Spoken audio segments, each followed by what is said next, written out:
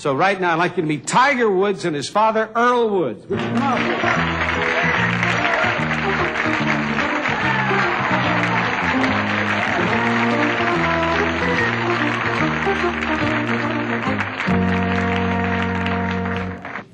Get that other ball.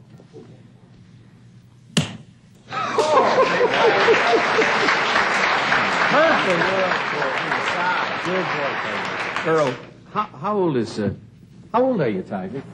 Daddy. Two. Two?